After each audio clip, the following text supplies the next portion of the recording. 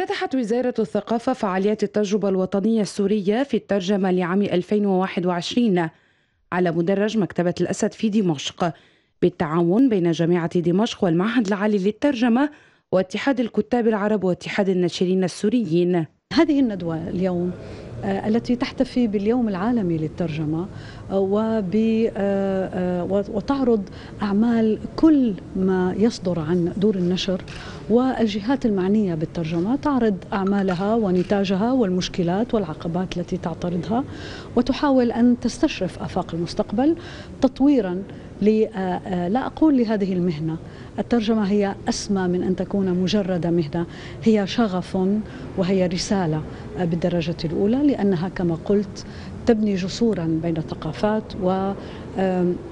وتساعد على استيراد المعرفة بكل ما فيها من مصطلحات ننقلها إلى العربية ومن فكر ومن رؤى للمستقبل.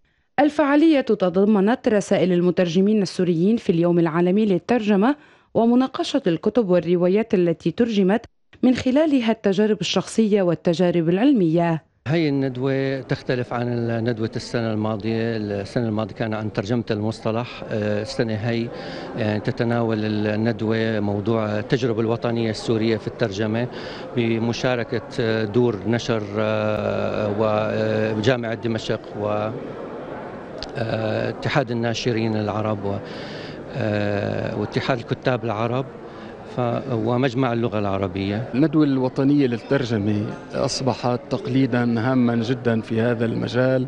تنظمه وزارة الثقافة بالتعاون مع جامعة دمشق المعهد العالي للترجمة.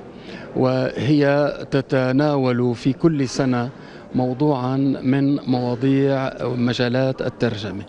هذه السنة نتناول موضوع التجربة الوطنية في سوريا. أي سوف سوف يتحدث المحاضرون عن تجاربهم في مجال الترجمة بشكل عام وتقسم إلى عدة جلسات. الأولى هي في مجال القطاع العام ماذا قدم للمجتمع. وفي الجلسة الأخيرة سنتحدث عن التجارب الفردية التجارب الفردية الشخصية. سأقدم اليوم في هذه الندوة مداخلة عن أهمية مقدمة الترجمة في الأعمال المترجمة إلى اللغة العربية. بمعنى أن المترجم سيضع في هذه المقدمة جل معرفته في المادة التي يترجمها في العلم الذي يترجمه كي تكون جسرا لعبور القارئ إلى النص.